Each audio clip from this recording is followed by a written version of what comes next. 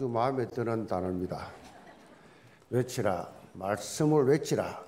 어, 세상의 모든 것 다 푸른 마르고 꽃은 시들고 다 없어지지만은 하나님의 말씀만 영원히 선다. 그리고 사실을 알고 믿는 자는 외쳐라 그랬어요. 외쳐라. 그냥 입도 안 벌리니까 문제예요. 외치라. 그, 그 정도로 다급하고 시급하고 중요하다는 말씀이죠. 여러분, 찬양 하나를 들어도 회개가 나오고 감격이 나오길 바랍니다. 은혜로운 찬이었습니다. 신앙 고백합니다. 주는 그리스도시요 살아계신 하나님의 말씀입니다. 아멘. 우리 해외 성도들도 같이 서로 다 인사합시다. CVDIP의 삶이 됩시다. 어, 중학생이 편지를 썼어요. 목사님, 그 답을 하실 때 편지를 줬어요. 보니까 장로님 딸인데, 목사님 저는 CVDIP가 잘 안 돼요. 그래. CVDIP가 잘 안 돼요. 그 어른들 들을 때 CVDIP 발음도 잘 안 되는 판에 지금 뭐 되겠어요. 근데 이런 CVDIP가 어려운 거 하나도 아니에요. CVD가 뭐냐? C는 뭐냐? 말씀의 말씀. 언약, 언약, covenant. 언약을 말씀을 들었으면 그 말씀을 이제 이제 삶 속에 좀 적용 좀 하자 그 말이에요. 그 보통 교인들이 이렇게 신앙생활 해도 그냥 듣고 끝내버려요. 일반 교회들 보세요. 여러분처럼 노트 있습니까? 일반 교회 노트 없어요. 그냥 듣고 끝이에요. 그럼 나가서 이제 말씀 따로 내 따로예요. 신앙생활을 따로 그냥 삶을 따로 해요. 그러니까 뭐요? 변화 전혀 없어요. 그래서 그렇게 종교생활 하지 말고 기독교 종교생활 막연하게 하지 말고 좀 실감나게 뭐랍니까? 외쳐라 하잖아요. 그 정도로 확신 있는 말씀이니까 이걸 좀 이 말씀 속에 비전을 품고 이것을 이거 속에 꿈을 찾고 이걸 이미지하여서 이거 실제로 내가 적용해 보자. 그러니까 신앙생활 평생 하면서도 말씀을 삶 속에 아, 강단 몇씩 이랬지. 그럼 내가 이번에 이렇게 해야 될 걸 이렇게 해야 되겠구나. 말씀 따라가야 되겠구나. 무슨 문제가 나오면 내가 말씀, 아, 강단 말씀 이랬지. 말씀이 이번 주 말씀 이것이지. 그렇게 적용을 단 한 번이라 해보라는 얘기예요. 적용, 피, 프랙티스. 아멘. 그래서 아무런 어려운 말이 아니에요. 이 말씀을 내 삶 속에 실제로 적용을 해서 응답 한번 받아보자. 그 다시 한번 인사합시다. CVD IP의 삶을 삽시다. 자, 읽어드린 말씀 가지고 아름다운 전도자의 삶이란 제목으로 말씀드립니다. 아, 지난주와는 세상의 틀 바꾸라 라고 하는 주제로 제22차 그렇게 세계 Remnant 대회가 저기에 일산에 있는 백, 이, 어, 킨텍스에서 그렇게 진행이 됐습니다. 전 세계 70개국 이상 그렇게 어, 해외에서 전도자와 또 자라는 Remnant들이 그렇게 한 2만여 명 성도들과 함께 모여서 어, 세상의 틀을 바꿀 Remnant가 일어나는 언약적 그런 어, 비전을 붙잡고 Oneness의 축복을 누리는 시간표였어요. 어, 늘 광고 때만 우리가 새 가족들을 아주 해외에서 오신 선교사님들과 랩너트를 소개했는데 이 시간 예배 시간에 우리가 정말 해외에서 말씀 듣겠다고 말씀 듣겠다고 이런 엄청난 WRC에 참석하겠다고 그렇게 참석한 분들이 많이 있어요. 그리고 내일부터 또 훈련 받아보겠다. 이 더운 날씨에 말이에요. 훈련을 우리가 받아보겠다고 해외에서 온 분들이 많아요. 여러분 여기 살면서도 WRC 안간 분들이 대다수인데 해외에서 비행기 타고 비행기를 몇십 시간씩 타고 와서 참석하고 여러분 이곳에 살면서도 훈련도 안 받는데 해외에서 와서 훈련 받아보겠다고 열악한 환경 가운데 돈이 있습니까? 돈도 없어요. 어려운 중에도 메시지를 그렇게 세계를 움직이는 이 다락방 운동이 어떤 것인가 알고 싶어서 목사님들이 여기 목사님들이 오시고 여기 정말 아주 중요한 공부 열심히 잘하는 엘리트들이 왔어요. 그 해외에서 오신 분들 한번 그 자리 한번 일어나 주시기 바랍니다. 한번, 한번 일어나 보세요. 이 시간에. 카메라 좀 쫙 천천히 비춰주세요. 쭉 일어, 좀 일어서 계세요. 이, 자, 이렇게 지금 오신 분들 이렇게 많습니다. 그리고 좀 올라서 계세요. 그리고, 어, 지금 다민족들이 말이죠. 우리 교회에 지금 다민족들이 지금 와 있어. 저기 보면요. 미국에서 온 저 세자매가, 세자매가 똑같이 생겼죠. 세상동이 세상동. 오래전부터 신학교 다니고 있고 훈련받고 있어 지금. 그렇게 다민족들이 많이 있어. 한번 일어나 보세요. 다민족들 한번 일어나 보세요. 다민족들 한번 일어나 보세요. 그 자리에서. 자, 박수로 리 안녕 감사합니다. 네. 네, 앉으세요. 자, 이렇게 어, 지금 이 말씀 우리 교회만 해도 이렇게 많은데 어, 얼마나 많은 해외에 이 사람들이 우리보다 잘 사느냐 전혀 아니에요. 여행을 갈 만한 행편이 되느냐 전혀 아니에요. 당장 그달 그달 살 어려 생활도 어려운 분들이 이 훈련이 얼마나 중요한가를 알고 온 거예요. 우리 집 사람이 초창기에 그런 말을 했습니다. 이 다락방 초창기에 야 유광수 목사님이 뉴욕에서 미국에 태어났으면 우리가 매주 뉴욕 가야 될 거 아니냐. 그때는 월화 집회가 매주 있었어요. 매주 매주 월화 집회가 지방으로 돌면서 이 팔도광산 돌면서 월화 집회가 있었어요. 그러니까 늘 지방에 가서 그 모텔에 자고 그래 또 훈련 받고 화요일날 끝나면 밤에 올라오고 저는 주일날 내려가서 주일날 내려가서 이 훈련 받고 밤새도록 올라와서 월요일 날 올라 오전에 전도하기 때였어요. 집회는 저녁부터 해요. 그거를 10년에 10년을 부산을 매주 월요일 비행 주일날 다 끝나면 얼마나 몸 피곤합니까? 그 피곤하면 그 몸을 이끌고 비행기 타고 내려가요. 내려가서 밤새도록 흘려 11시 반마쯤 기차 타고 밤새도록 올라가요. 때로는 이제 전도학교 한다고 대구로 가서 대구 동강교회 이런 데 전도학교 한다고 밤새 올라가서 거기 자고 전도학교 하고 또 올라오고 그것이 10년을 하루같이 했어. 여러분요 얼마나 지금 편한 지금 메시지 듣고 있는지 몰라 천지를 모르고 지금 왜 그런지 아세요? 이 운동을 면직당해 가면서 이, 이 운동을요, 이거 지금 전 세계에서 지금 이 주시하고 있는 운동이에요. 그 우리 지금 제일 못 깨닫고 있는 것이 임마누엘 교회, 두 번째가 예원교회요. 여기 핵심도 하고 있는데 이 중요한 메시지 전 세계가 다 와서 훈련 받겠다고. 만약 유 목사는 미국에서 있으면 이거 운동과 저는요 매달 가야 돼, 매주 가야 돼, 메시지 들어야 돼 이거 이거 아니면 이, 이 세계 보면 못하니까. 조금 감이 옵니까? 글쎄 말이야 감이 글쎄 그 하도 배가 불러가지고 영적으로 갈급해야 되는데 신명이 가난해야 되는데 복음의 그래 기중성을 깨닫게 되는데 고민 고민하고 정말 기도에 기도 전도 정말로 이 신앙생활 이 목회 이 뭐 현장 이걸 막 뼈저리게 느끼 본 사람이 이걸 아는데 여기 성교 사람들 김학의 성교사 같은 분은 칠레에서 수십 년 선교한 사람들이요. 아주 별나게 한 아주 유명한 사람이. 다락방 깨닫고 다 끊고 이제 지금 제자들 데려와 앉아 있어. 비록 모습은 저래도요. 가슴이 불타요, 불타. 저 우리 지금 지금 정무시 성사님은요. 아, 우크라이나를 사역하지만 우크라이나에서 어떤 뿔에 사지만 이뭐 전혀 우크라이나뿐만 아니라 막 저 아프리카 아프리카래가 제가 심지어 이스라엘까지 막 타고 돌아다녀. 이 복음이 너무 소중했어. 이 예수가 그래서 사실 너무 소중했어. 우크라이나에서 선교하지만 이, 이 신학교 하지만 이거 가지고 그 지역 사람들 살려고 막 돌아 유럽으로 저 막 그냥 전 세계로 돌아다녀. 차비도 없으면서 맨날 도와달라 하면서 통역도 없지 영어도 못해 프랑스도 못해 아무도 못해 그냥 막 가는 대로 가서 막 통역해가지고 확실하게 가슴 속에 는 복음 하나 증거하겠다고 이런 분들이 지금 여기 앉아있대 어, 이번에 선포된 메시지는 뭐냐 CVDIP 언약 24시예요 이거를 실제로 믿고 누리고 증거하자. 이 운동이에요.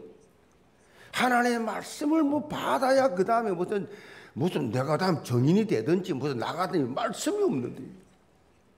여러 가지 이유로 사단이 다 쪼아가 버렸는데 길가에 돌짝밭에 가시밭에 말씀이 떨어졌는데 하나도 성취가 안 되고 실현이 안 되고 전부 다, 다 귀신이 다, 다 빼앗아 가버려. 아무것도 안 남았는데. 이런 식으로 수년 수십 년을 평생을 살고 있어요. 그래서 교회가 문을 닫는 거예요. 유럽이 미국이 한국 교회가 어, 어떤 힘을 얻어야 되느냐? CVIP를 어디에 기준을 가고 내가 적용해야 되느냐? 사도행 1장 1절, 3절, 8절이에요.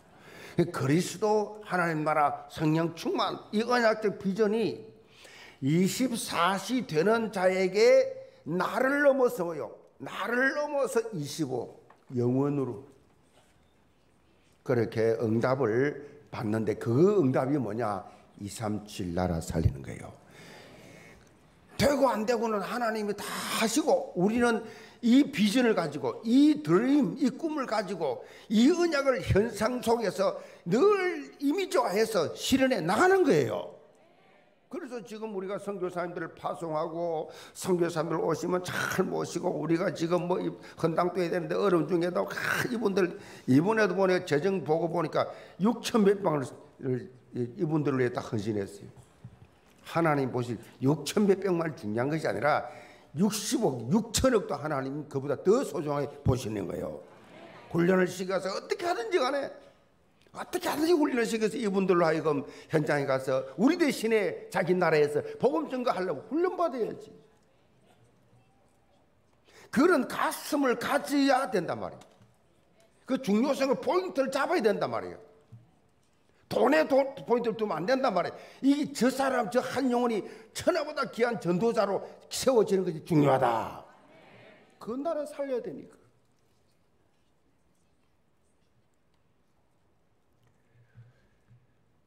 하나님의 말씀을요, 왜 훈련시킵니까? 각인시켜요. 한 번 듣고 안 되니까 그 말씀을 계속 영혼 속에 각인시켰어요. 보좌의 능력을 체험하고 정인된 삶을 살면서 세상의 틀을 확 바꿔 그 자기 살고 있는 그 땅을 바꿔버려 복음으로. 아멘. 기니에서 온그 마르쿠스 저저 앞저 뭔가 그 기니에서 온그 저 방송국 대표 아들이 왔어요. 너는 이 복음을 깨달으면 너는 정말 그 기니에서 그 아프리카 기니에서 그 몇 천만 살아요. 기니에서 너가 제2의 이 바울이 될 수 있고 제2의 유광수 될 수 있다. 이 방송을 통해서 수많은 살릴 수 있고 너 가슴 보니까 가능하다. 기니온.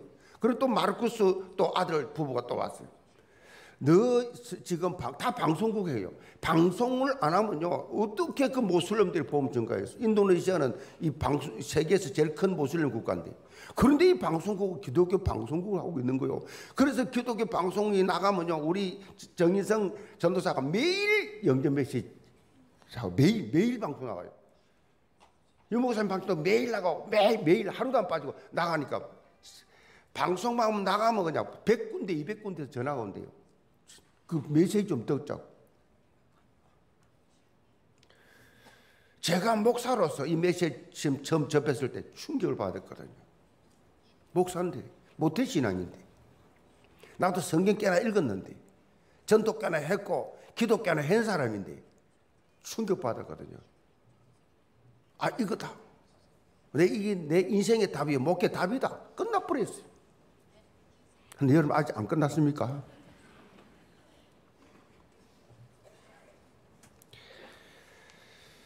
우리, 우리 영계 모든 성도들도 이 해외에서 온 이분들처럼 정말 아무도 할 수 없고 아무도 갈 수 없는 nobody 노예요. 그 현장에 여러분들도 불신자 살려보겠다고 내가 먼저 은혜 받고 내가 먼저 훈련 받고 그런 전도들 되시기를 바랍니다. 오늘 본문에 보면 사도 바울이 이런 복음을 증거하는 전도자의 삶이 얼마나 아름다운지를 밝히고 있습니다. 사도 바울은 참 독특하게 전도자의 이 삶과 아름다움을 일치시키고 있어요.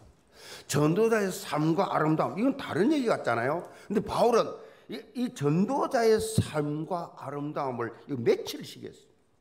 그런데 이 말씀은요 원래 이사야 선지자가 먼저 선포한 거예요. 사실은 이사야 57 2장 7절에 이렇게 말씀합니다. 좋은 소식을 전하며 평화를 공포하며 복된 좋은 소식을 가져오며 구원을 공포하며 시온을 향하여 이르기를 너 하나님이 통치하신다 하는 자의 산을 넘는 발이 어찌 그리 아름다운가 한마디로 좋은 소식을 전하는 생명 살리는 복음을 전하는 자의 발걸음은 아름답다. 그렇게 아름다운 발걸음은 없다. 사실 우리 신체를 보면요. 가장 참밥 신체가 발이요.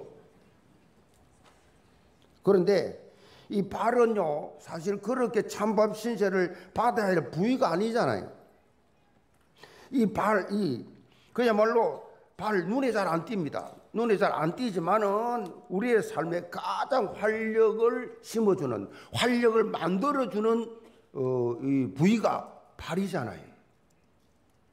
발로 걸어 다니고 발로 뛰어 다니고 이 발, 이 발이 없으면 우리는 활동을 엄청나게 제한받게 되죠. 그런데 발 냄새가 난다고. 이 찬밥 시제를 되니까 발의 입장에서 볼 때 얼마나 억울하겠어요. 죽도록 하고 말이야. 냄새 난다고 말이지. 숨겨놓고 보여주지도 않고.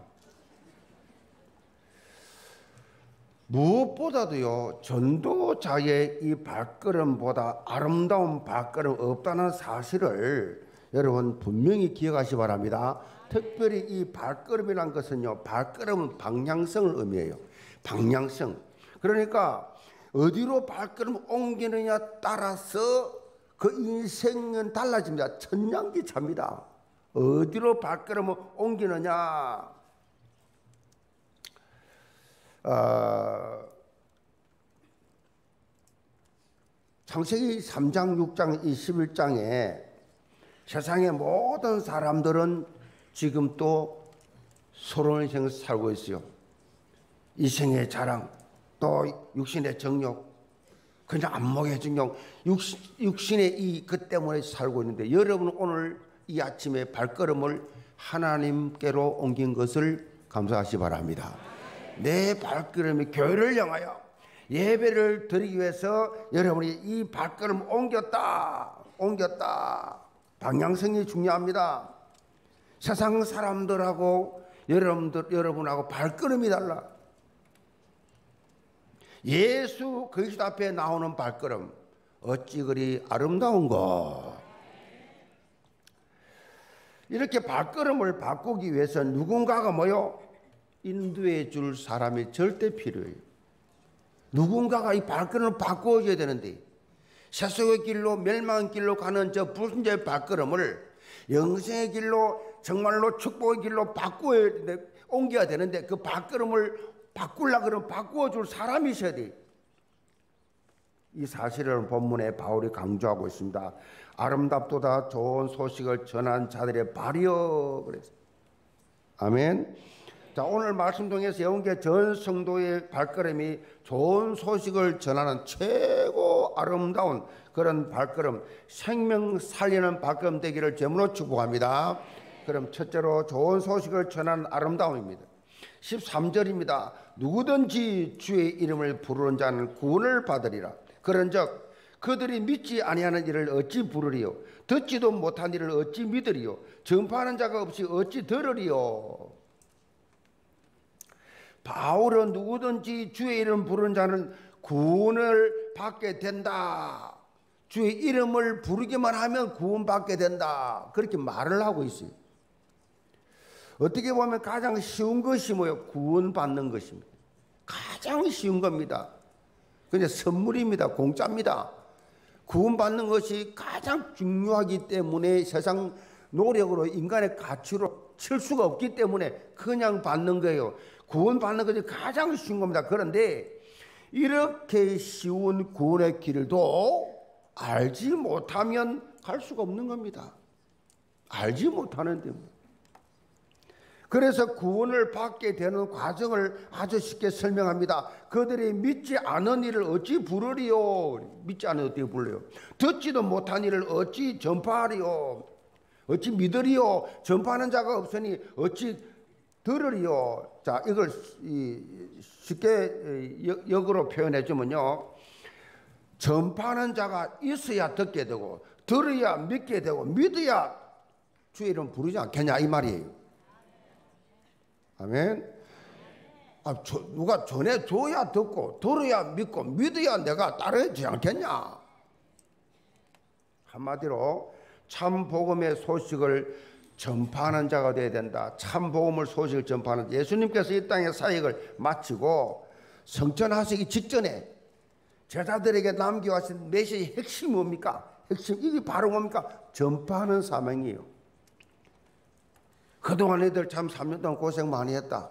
나 이제 천국 간다. 하나님 나라를 가는데 너희들 어떻게 하든지 간에 잘 먹고 잘 살아라 그랬습니까?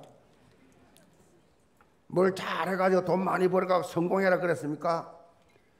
그 육신적으로 볼 때 아무것도 없어요. 거의 다 어부 출신들이요. 재산도 통장도 없어요. 아무것도 없어요. 마태복음 10장 15절에 보면 너희는 온 천하에 다니며 만민에게 복음을 전파하라. 온 천하에 다니며 만민에게 복음을 전파하라. 온 천하. 옆에 나라 가본 적도 없고 갈릴리 출신들이 갈릴리 바다에서 돌다가 어쩌다가 예수님 때문에 예루살렘 온 것밖에 없는 이 촌사람들을 온 천하에 다니며 만민에게 복음을 전파하라. 말된 소리입니까? 말도 안 되는 소리, 조롱하는 소리 같습니다. 웃기는 소리예요. 성취 안 될 소리 같습니다.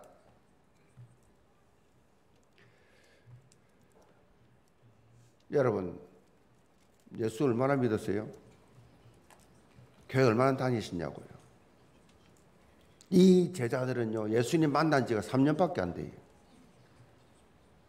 3년밖에 안 됐는데 지금 온 천하대 만민의 복음을 전파하랍니다.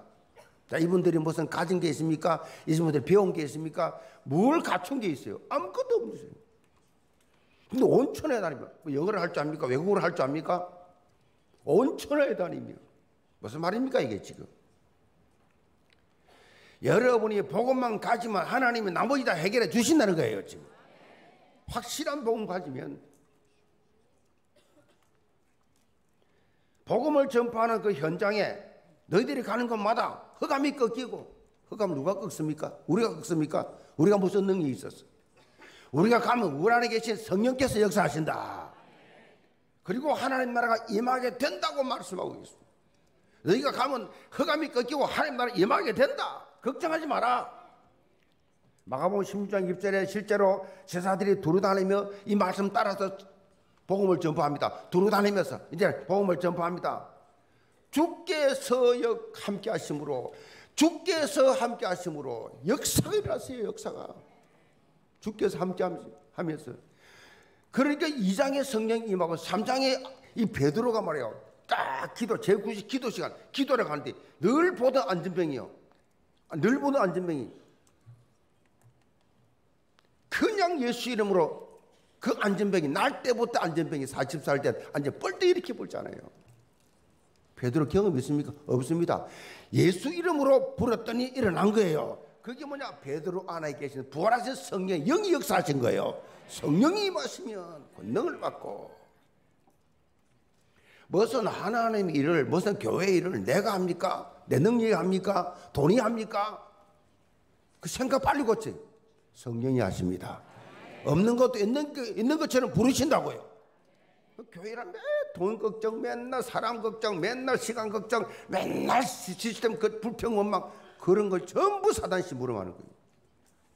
성령이 하신다고. 아멘. 사람 보고 불평하고 사람 보고 원망하고 그 하나님 안 믿는 사람이 전능하신 분이 계시는데 그 시키는 대로 전파하니까 역사 일어났다. 지금 세상 현장에는요 우리 방황하는 영혼들이 꽉 찼어요. 요즘 얼마나 정말로 정신적으로 고통당하며 생활적으로 고통당하며 지금 나라가 정세가 막 꼴이 말이 아니잖아요 지금 이게 어떻게 되는 파지? 어? 이게 뭐 러시아가 올라와 안 하던 짓을 말막 중공 저 중국이 왔다 러시아가 안 하던 짓 생전 처음 오는 거예요 막 그냥 갖고 놀라 그래 이거 지금 북한 그래 일본 그러지 이제 미국까지 무시하지 이놈은 나라가 앞으로 어떻게 될 것 같아요? 우리는 기도하고 있는데 세계 살리 제사장 나라 되게 달라고 하나님 극, 극한으로 몰아쳐 가지고 하나님 제사장 나라 된 정글을 보여줄 줄로 믿습니다. 이 나라는 절대 망할 나라가 아니에요. 유일한 복음 가진 나라예요. 우리나라는 무슨 제과자원 하나도 없어요. 아무것도 없는 나라, 석유 한 방울 안 난 나라, 석유 수출 세계 10위예요. 아세요? 새로 만들어 가지고 다시 팔아. 머리가 얼마나 좋은지. 하나님은 어떻게 하셨는지 역사할 줄을 믿으시 바랍니다. 지금 이 상황을 바라볼 때는 얼마나 기가 막힙니까? 이런 상황 속에서 여러분들이요 하나님의 능력을 체험해 보시기 바랍니다. 마태복음 9장 35절로 36절에 보면 예수님께 이렇게 단식하십니다. 예수께서 모든 도시와 마을에 두루 다니사 그들의 회당에서 가르치시며 천국복음을 전파하시며 모든 병과 약한 것을 고치시니라 무리를 보시고 불쌍히 여기시니 이는 그들이 목 잡는 양같이 고생하며 기진함이라 그랬어. 예수님이 본 이스라엘 백성들의 모습이에요. 목 잡는 양같이 기진함이라. 지금 장세기 3장 불신 현장이 딱 이렇습니다. 다 기진해 있어요. 이어지는 36절, 37절에 보면요. 이렇게 현장에서 목 잡는 양과 같이 고생하며 기진한 영혼들이 너무 많은데 추수할 일꾼이 없다. 추수할 것은 너무 많은데 기진에서 영, 방황하는 저 불신 영혼이 너무 많은데 저 영혼들 추, 영적 추수할, 추수할 일꾼이 없다. 단식했다고. 단식했다고요. 여운교에 나오는 여러분들은요, 다 추수할 일꾼인 줄 믿으시 바랍니다. 여러분들이야말로 저 불쌍한 영혼들, 여러분 부딪히는 게 다 불신자 아니에요? 일주일 내내 살면서 부딪히는 사람들 거의 다 불신자 아니에요? 맞아요, 안 맞아요? 맞아요. 맞아요, 안 맞아요? 그렇지 않아요? 그럼 그 불신자를 만날 때 뭘 해요? 내 유익만을 챙기기 위해서 그 사람 이용이나고 그 사람에게 그 사람 통해서 도움이나 받으라 그러고 그렇게 복음 없이 언약 없이 하나님 없이 살고 있느냐? 아니면 불신자를 이번 주에 내가 누구누구 만날 텐데 언약 성취를 위해서 내 가지 복음을 직접이든 간접이든 대포를 주든 주부를 주든 내가 메시지를 하든 내가 영향을 미쳐야 되겠다. 마음만 먹어도 그것 때문에 기도로 준비만 해도 하나님이 역사하세요. 그만큼 지금 사람이 없는 거요. 근데 문제는 전혀 감각이 없어. 니야 지옥 가든지 말든지 내만 천당 가면 된다. 내만 구원받으면 된다. 아무 감각이 없어. 오직 돈이야. 불신자하고 똑같아. 창세기 3장이야. 나 중심이야. 세상이 어떻게 하면 좀 출세할까? 성경 중심이야. 구원받아가 복음 가진 하나님의 자녀가. 그래가지고 주시옵소. 주시 뭐 줍니까? 내가 하나님 잘못 준다. 하나 내가 하나님을 못 줘요. 생각과 관심이 온통 상세 3 6절 15절에 빠졌는데 어떻게 줍니까? 주면 더 멀리 갔긴데 멀리 멀리 갔더니 점점 멀리 갈 텐데. 성도 여러분, 불새 현장을 좀 보시기 바랍니다. 출소할 일꾼이 없어. 아니, 전에는 우리가 복음을 잘 못 깨달아가 못 한다 칩시다. 그럼 교회 책임이요, 목사 책임이요. 전에 교회 다닐 때 뭐 들었어야지. 예수가 뭐 누군지 그리스도가 뭔 뜻인지 아니 뭐 창세기 3장이 뭔지 뭐 불신 상태가 뭔지 구원받는 축복이 뭔지 뭐 들었어야지 뭐 그 교회 다녀 예배 드리고 예수 믿고 구원받는다 그렇게 생각했지 뭐 그런데 억울하게도 여러분이 여러분도 모르게 영교회 왔어 여기서 복음 다 들었어 심히 훈련까지 받아서 누구에게 책임이세요? 누구에게 있어요? 여러분에게 있어요. 여러분 전도자예요. 아멘. 여러분 복음 가진 자기 때문에 전도자가 너무 중요한데 여러분 전도자예요. 예원교회 나온 사람 최하 6개월 이상 나온 사람은 다 전도자예요. 15절 보세요. 보내심을 받지 아니했으면 어찌 전파하리요. 기록된 바 아름답도다. 좋은 소식을 전한 자들의 발이여 함과 같으니라. 보내심을 받지 아니하였으면 어찌 전파하리요? 사도 바울이 전도자의 정체성을 밝히고 있습니다. 누구든지 하나님께서 보내야 가서 복음을 전하잖아요. 보내야 예수님이 제자들 보냈잖아요. 가라 그랬잖아요. 무엇보다 하나님의 자녀가 되었다. 잘 들으세요.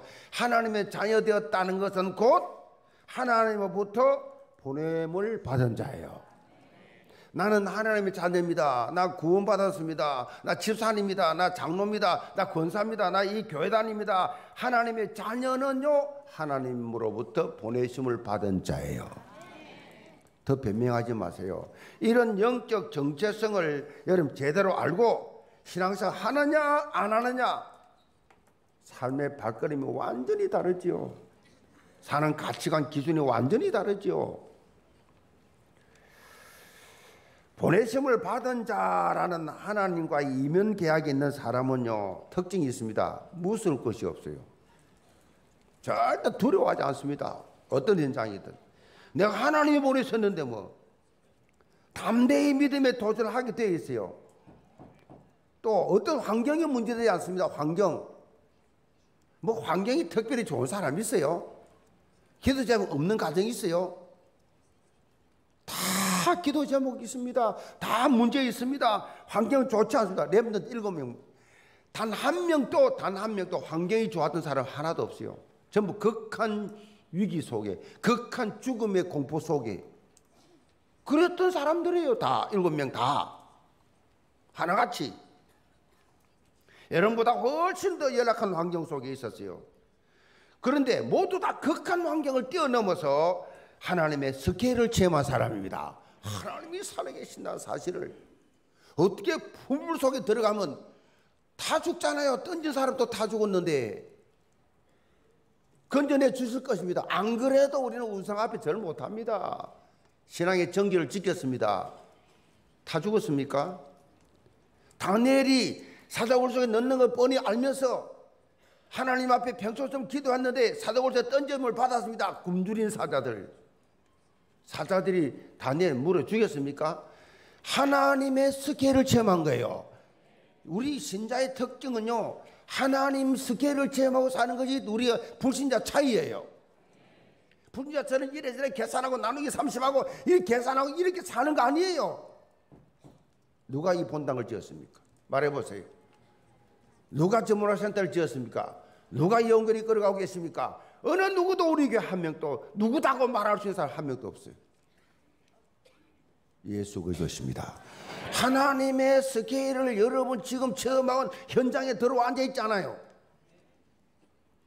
그러면 여러분이 하나님의 스케일을 처음에 봐야지. 아멘. 그 불신자와 차이가 그거예요. 보내심을 받은 자의 삶은요, 사실요, 어려운 게 하나도 없어요. 왜 그런가 하면, 보내심을 받았다. 보낸 자가 있잖아요.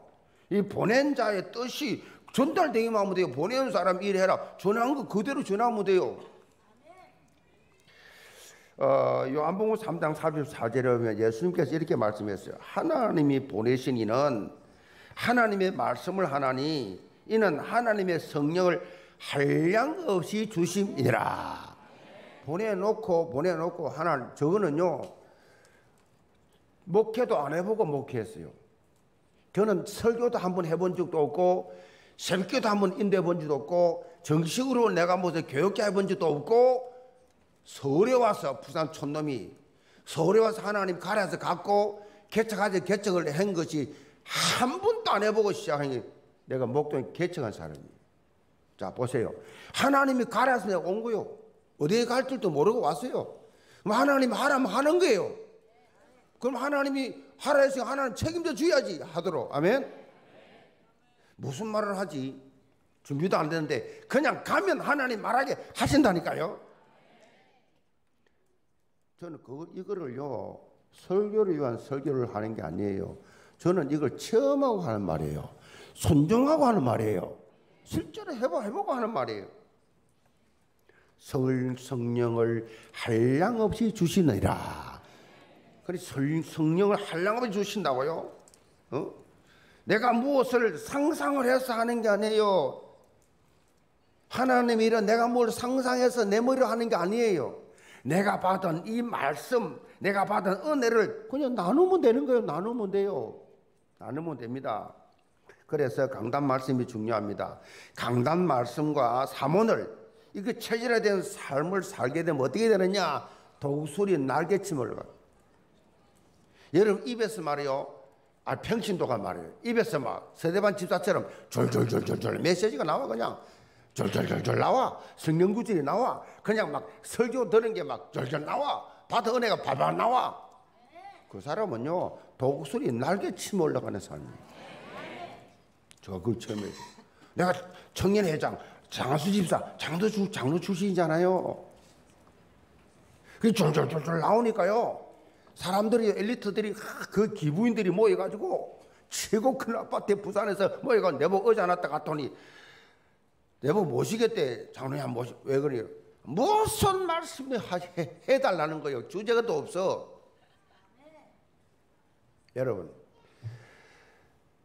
자뭐 어떤 사람이 어디를 가든지 누굴 만나도 하나님 말씀 줄줄줄 나올 정도 되면요 도구술이 날개쳐 올라간다니까요. 그 사업, 내가 사업할 때 아닙니까? 그 사업, 그까지 다 하나님 책임져 주신다고. 여러분, 생동감이 넘치는 신앙생 하시기 바랍니다. 생명적 역동이 일어나면서 현, 다음에 어떻게 되느냐? 여러분과 여러분이 사는 현장 변화가 와요. 변화가 와요. 삶의 변화. 변화. 물어봅시다. 변화됐습니까? 변화시키고 있습니까? 변화시키고 있습니다. 변화시켜야 돼요. 하, 사장이 직원들을 변동을 감동을 줘. 하, 우리 사장님 같은 저런 삶을 살면 참 좋겠다. 야 정말 부럽다. 돈이 많아서가 아니라 정말로 저 삶이 저 인격이 저 삶이 참 중심이 그게요 여러분이 그리스도 사랑으로 하면 이게 뭐 예수 믿을 괜하지 안 떠들어도요 그 삶을 감동받아 오게 되어 있다니까요 감동받아 삶을 변화시켜 현장을 변화시킨다고요. 사천 말씀 운동 지금 우리가 펼쳐 나가고 있습니다. 사천 말씀 운동 지금 한 삼천여 개 지금 하고 있는데 이 사천 말씀 운동에 여러분 한번 참여해 보시기 바랍니다. 그뭐 어렵습니까? 내가 받은 은혜 나누는데 이번 주간 받은 말씀 내가 음, 단 한 명 누구하고도 뭐 불신자든 그게 뭐 신자든 뭐 그것이 렘너트든 누구 상, 상관없이 그냥 하나님 주시는 대로 그냥 만남에 죽고 누려보는 거예요. 그러면요 어떻게 되는지 아세요? 내가 입에서 이렇게 복음을 말할 때 성령이 한량없이 채워주신다고.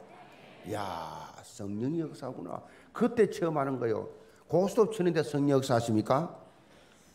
자기 욕심, 자기 거 채우려고 아랑아랑 뭐 그냥 애글복글한데 그 채워줍니까? 안 채워줍니다. 그 대부분의 종교인들이요 반대로 살아요. 반대로 성경과 반대. 내 입에서 어떻게 이런 말이 나올 수 있을까라고 느낄 정도로 하나님이 성령을 채워 주신다고요. 말씀 아 어떻게 말이 나오지? 나 옛날에 들은 말씀이 막 생각나네. 그래서 막 말씀 내 속에 들었던 것이 쫙 나와요. 특히 오늘 본문을 보면요. 이런 복음을 증거하는 발걸음이 뭐요? 가장 아름답다고 증거하잖아요. 여러분 발걸음이 어디로 향하고 있습니까? 여러분 발걸음이요. 아름다운 발걸음 되기 바랍니다. 그리고 캠프를 간다. 하, 더운 날씨에 말이에요. 미쳐서 미쳐서 미쳤습니까? WRC 온다, 뭐전 세계에서 온다. 미쳤습니까? 얼마나 막 환경 사람이 많다 보니 불편한 게 한두 가지 아닌데 그 오는 그게 바보 같습니까? 아름다운 발발이 아름다운 발. 아름다운 삶이. 아름다움이 뭐예요? 아름다움. 히브리 말로 여기서 말하는 아름다움이 나우라면 나우. 히브리 말로 나우라 나우라 말하면 때에 알맞다. 적당하다 그런 뜻이에요. 여기서 말한 막연한 아름다움이 아니라 때에 알맞다. 적당하다. 자, 사람이요 자기가 설 자리가 있고 자기가 해야 될 역할이 할 역할이 있는데 자기가 설 자리 자기 해야 될 역할을 잘 할 때 아름답다 그래 말합니다. 아시겠어요? 아름답다 말 그 말이에요. 다시 말해서 하나님의 자녀는요 전도자의 위치에 서 있고 전도자의 역할을 감당할 때가 가장 아름답다. 저 그렇거든요. 제가 이렇게 이렇게 보면요 어떤 분이 막 복음을 증거해요. 복음을 증. 그럼 복음을 증거한 걸 보잖아요. 진짜 지구촌의 제일 아름다운 모습이 복음을 증거하는 사람.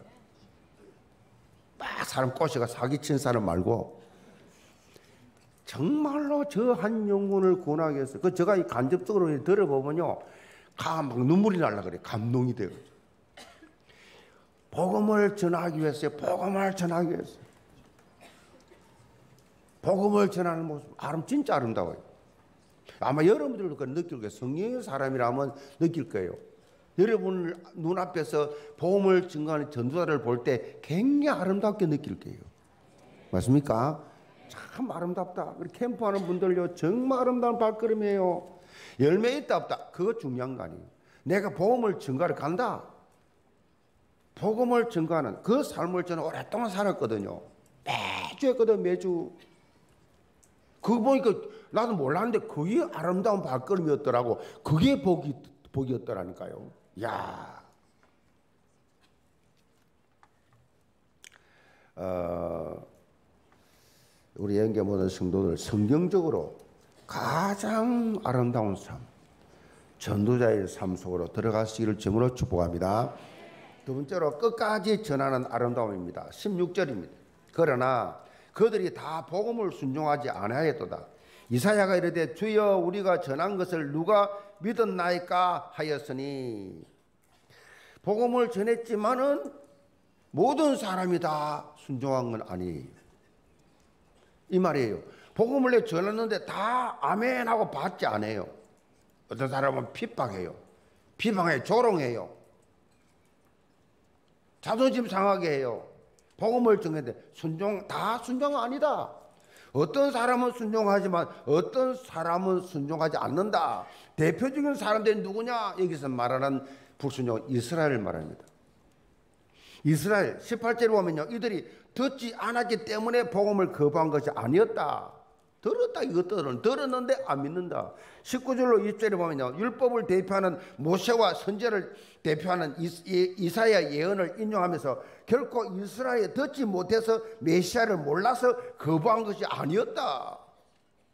이 메시아이신 예수님이 이스라엘 백성들에게 제일 먼저 그렇게 찾아오셨다. 그리고 이스라엘 땅에 33년을 살았다. 그리고 활동했다. 상 1장 8절에 뭐라 합니까? 1장 8절에 성령이 오시면 제일 먼저 모여 예루살렘 시작하죠. 예루살렘부터 오직 성령이 말씀 내게 성령이 말씀은 예루살렘부터 제일 먼저 그렇게 증거 그렇게 했다. 해야 된다. 그만큼 이들에게 다른 어느 민족보다도 복음을 들을 수 있는 기회를 다 줬어. 뭐 성경 이 구약은 다 이스라엘 역사예요. 이스라엘에서 예수님 오셨어요. 그때 복음 들은 기회가 많이 있었어요. 그런데도 이들은 복음을 받아들이지 않았다. 그 이유는 그 이유가 뭐냐? 이스라엘 백성들이 교만했다 그랬어요. 자, 교회를 수십 년 다니면서 복음 안 들었어요? 영계처럼 이 복음이 강한 교회는 지구촌이 없어요. 이 복음을 듣고 훈련이 있고 여러 가지 여러분을 제자 만들기 위한 시스템이 다 있는데 복음 들었는데 왜 하나도 안 되냐? 교만해서 그래요. 영적 교만은 세상이 말하는 지식이 많아서 돈이 많아서 잘났어가 아니에요. 영적 교만은 그거하고 상관없는 거예요. 영적 교만. 이스라엘 백성들이 그랬어요. 황고했습니다. 메시지를 거부하고 비판했습니다. 복음을 받아들이지 않았습니다. 이들의 마음은 뭐요? 강팍하다. 그래서 은혜 못 받는 사람들의 특징은요. 여러분 끝으로 보면 천사같이 생겼습니까? 은혜 못 받는 사람은 그 마음이 강팍하고 교만합니다. 하나님은 교만한 자를 물리친다 그랬어요. 사실요 살인해 가지고 잘못 저지를 주여 제가 잘못했습니다 하는 사람보다 교만한 사람이 더 위험합니다. 교만한 사람은 절대 은혜 안 받습니다. 강팍합니다. 이것은 마치 어떻게요? 이스라엘 백들이 보험 설교사, 보험 설교사 했잖아요. 보험 설교사 말 몇 마디 듣고 보험 약간 또 제대로 읽어보지 않고 계약을 한 것 같은 거예요. 약간 내용을 정확히 그렇게 알려고 하지 않았기 때문에 막상 문제가 팍 터지면 불이익을 고스란히 당하게 돼 있어요. 이스라엘 백성들은 나름대로 율법을 많이 알았어. 많이 공부했습니다. 잘 지키고 전통을 지킨다 했지만은 그들은 자기들의 방법이었지 하나님의 구원 약관을 보지를 못했어. 자, 17절에 보면 믿음은 들음에서 나며 들음은 그리스도의 말씀으로 말미암다고 밝히고 있습니다. 믿음은 다른 어떤 것을 듣는 것이 아니라 예수 그리스도의 말씀, 이 말씀이신 예수 그리스도 그분을 주인으로 받아들인 데서부터 시작되는 거예요. 말씀이 육신이 되어 말씀이 예수 예수 그리스도가 화가가 그린 그 그림 아니에요. 예수 그리스도는 사람이 아니에요. 예수 그리스도는 말씀이에요, 말씀. 그래서 말씀을 읽는다 이 말은 예수 그리스도를 읽는 거예요. 아멘. 이 예수 그리스도를 내 주인으로 모셔드린 자부터서 이제 신앙이 성장하기 시작합니다. 예수 그리스도 예수 생명인데 무슨 성장인데 생명이셔 잘하지. 이스라엘 백성들처럼요 백날 육벌 붙잡고 있다고 해서 구원 얻는 것이 아니에요. 특별히 본문에 말하고 있는 말씀이 여기 뭐, 무슨 말씀이냐면 이 말씀을 레마를 표현합니다. 레마. 레마인데 레마 단순히 문자적인 의미의 말씀이 아니라 내 가슴 속에 직접 부딪혀서 변화를 일으키는 말씀. 아멘. 여러분 다 같은 로고스 66권 말씀은 듣지만은 이상하게 목사님 설교 중에서 요거 내가 부딪혔다. 그게 레마요, 레마. 그것이 여러분을 변화시키는 거예요. 그 말씀 레마 내게 말씀 주신 레마. 자 하나님 말씀이 내게 레마로 부딪힐 때 내 삶의 변화가 일어납니다. 그래서 여러분은요 예배 드릴 때 특별히 설교 드릴 때 말이요 성령께서 내 영혼에 찾아와 주옵소서 성령의 음성을 듣기 원합니다. 여러분이 성령의 도우심을 받고 받으려고 계속 기도하면서 설교 드려야 돼요. 안 그러면 성도 못 받으면 말짱 흔들려. 다 쪼가버려요.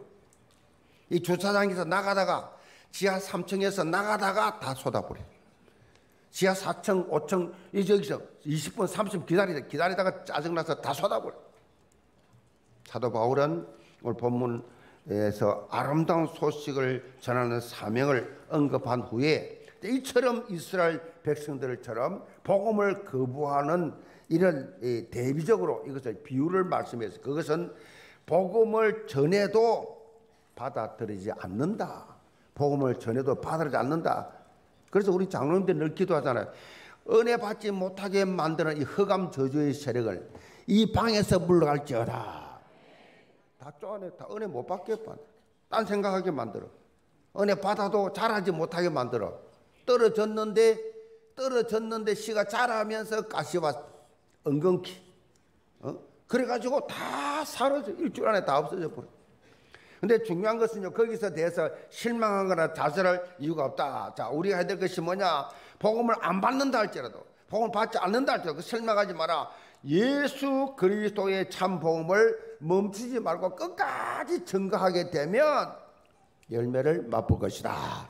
본문 21절에 보면 그렇게 완강한 이스라엘 백성을 향해서 하나님의 가슴이 담겨 있습니다. 이스라엘에 대하여 이르되 순종하지 아니하고 그것을 말하는 백성에게 내가 종일 내 손을 벌렸노라 하였느니라. 자, 하나님께서는 여전히 이스라엘 백성들 구원받기 위해서 기다리고 계신다라는 강조예요. 지금 또 돌아오라고 손을 벌리고 계시는 예수님. 저 불신용은 돌아오라고 손을 벌리고 계신다. 이런 하나님의 가슴을 우리가 품으시기 바랍니다. 한 번 하고 말지 말고 또 전하고 또 전하고 또 전하라. 계속해서 복음을 전해라. 어? 전해라. 예수님은 지금도 손을 못 자국난 손을 벌리고 계신다고 말하잖아요. 벌리고 계신다. 그러니까 너도 계속해서 이 복음을 전해라. 성 어거스틴이 이런 말했습니다. 영혼을 사랑하는 마음에 대해서 이렇게 호소했어요. 잘 들어보세요. 우리가 영혼이 떠난 육신 앞에서 통곡하면서 하나님 떠난 영혼을 놓고 어찌 눈물을 흘리지 않고 있는가? 보통 이렇게 사람이 죽으면 영혼이 떠나버린 육체이자 육체만 남았잖아. 시신 앞에 울잖아요. 막 울잖아요. 그렇게 울면서 지금 사람들이 영혼이 떠난 저 불순자 보고 왜 울지 않냐? 그 말이. 사실요, 불순자 보고 울어야 돼요. 왜 우느냐 그러면 당신은 영혼이 하나님을 떠나 있지 않냐. 영혼이 돌아오기를 바란다. 당신이 정말 살, 당신이 살아나기를 바란다. 그런 마음, 우리 영계 모든 성도들, 이런 영적 가슴을 가지고 끝까지 좋은 소식을 전하는 전도를 되시길 제으로 축복합니다. 결론입니다. 어, 지하철에서 한 부부가 대화를 하고 있었어요. 아내가 남편에게 뭐라 말했냐? 기업은행 광고, TV 광고 있잖아.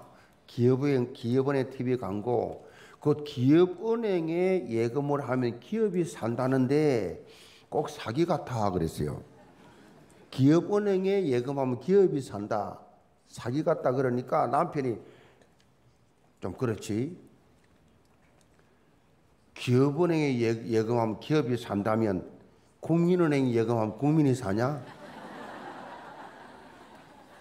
한국은행 예금하면 한국이 사냐? 그러니까 이 부인이 이래 말했어요. 나는 막 우리 모두 다 잘 살다 우리 은행에 갈란다 그래. 우리 교회가 우리 은행에 저 거래하고 있어요. 제가 은행 소개하려 하는 것이 아니라 제일 중요한 건 우리 모두 잘 살게 그 말이에요. 우리 모두 잘 살게. 이 말이 중요합니다. 나 혼자만 복음 받고 나 혼자만 잘 사는 것이 아니라 우리 모두가 복음 받고 우리 모두가 다 복음 누리면서 잘 살자. 그래서 우리 선교사님들이 구원받고 선교지에 가서 생을 들고 일생을 들어서 저 복음 전하잖아요. 아니 얼마나 소중합니까? 디모데서 2장 4절에 보면 하나님은 모든 사람이 구원받으며 진리를 아는 데 이르기를 원하니라 모든 사람이 구원받으며 진리를 아는 데 이르기를 원하신다. 디모데후서 4장 2절에는 너는 말씀을 전파하라 때를 어떤지 못 어떤지 항상 힘쓰라. 강조하고 있어요. 영국의 작가요 목, 목사인 찰스 킹, 킹절리 목, 목사님은 이렇게 말했습니다. 말씀의 씨를 뿌리는 자는 결코 멸망치 않는다. 그대가 이 세상을 떠난 후에라도 그 씨가 풍족히 열매 맺는다. 그렇습니다. 우리가 복음을 전개했는데 이 사람이 안 받아들였어. 아이고 안 됐구나 아니에요. 여러분 죽고 나서도 그 영혼이 구원 얻을 수가 있다. 그리고 여러분 기도한 것들은 언약 기도는 다 죽고 나서도 성취된다. 저는 그걸 체험한 가정에서 자랐어요. 그걸 체험하고 있는 사람이 전도는 기도는 절대 후회가 없어요. 하나님의 뜻대로 다 온전히 응답되기 때문에 여러분 부지런히 씨를 뿌리시기 바랍니다. 분명히 열매를 어, 맺을 때가 오게 되었습니다. 우리의 가장 기쁜 소식은 뭐냐? 예수 그리스도의 십자가의 대속과 이 부활의 복음이요. 가장 아름다운 이 복음, 이 기쁜 소식을 전하는데 우리가 이 발걸음이 쓰임 받기를 바랍니다. 우리 영계 모든 성도들 다른 어느 누구보다도 영혼 살리는 일에 최고의 이 발자국이 남기고 하나님 보시기에 가장 아름답고 가치 있는 그런 전도의 삶을 사시기를 점으로 축복합니다. 기도합시다. 아버지 하나님 아름다운 전도자의 밥그릇 우리 영계 모든 성도들 오늘 이거 참석한 모든 해외에서 온 선교사님들 랩런트들이 되게 도와 주옵소서. 이들을 통해 세상이 바뀌는 놀라운 역사가 일어나게 하여 주옵소서. CVDIP 사모들이 날마다 체험되어지게 하여 주옵소서. 나 혼자 사는 것이 아니라 모두가 구원받는 이런 아름다운 마음 가지고 참으로 하나님 앞에서 이 복음을 증거하는 아름다운 발걸음, 아름다운 삶이 되게 하여 주옵소서. 예수 그리스도 받들어 기도합나이다. 아멘.